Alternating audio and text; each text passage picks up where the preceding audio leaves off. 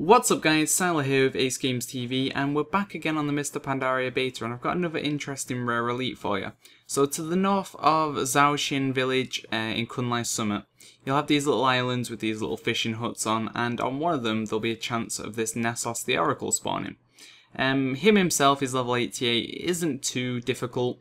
He does this kind of stealth and ambush attack, he'll also do this stacking like bleed uh, it does hit quite hard, especially on the, the level 90 mob. Uh, there's a rare elite similar to him that's level 90, and that one hits really hard.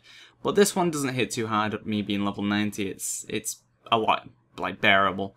So, in general, he isn't too difficult to kill. He is stunnable and CCable and things like that. And when killed, this is the interesting part, he'll drop the general stuff like the small bag of goods and the, the random blue. And he'll also have a, I think it's a 100% guaranteed drop of this hardened shell. Now at the moment it seems to be 100% on the beta, hopefully it'll remain 100% on live. And what's interesting about this is you'll be able to throw it at a player and it will dismount them on a ground mount, on a flying mount, whatever. And you'll be able to launch at them and it will pretty much dismount them.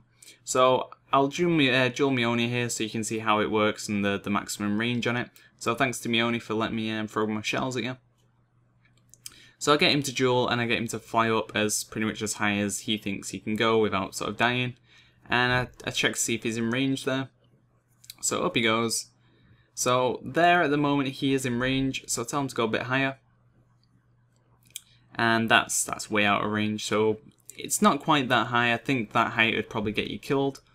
Um, so slowly get him to come down, get him to come down until we hit the sweet spot. So that's pretty much the maximum range, give or take and that's you just launch the shell at them, it has a small cast time, and it will knock them off the fly mount. You've seen it caused about 50% damage. That's going to be a lot of damage to someone jump, uh, jumping into a PvP fight, so that's going to be a very sought after item, especially on PvP servers. Uh, you're just going to be able to launch a shell at someone. If you're a paladin, you can go around with the shell, throw it at them, and bubble. And then they'll be knocked off the mount and you'll be fine. So it's, it's really interesting what they're going with there. I'd imagine this is going to be quite a heavily camped uh, item.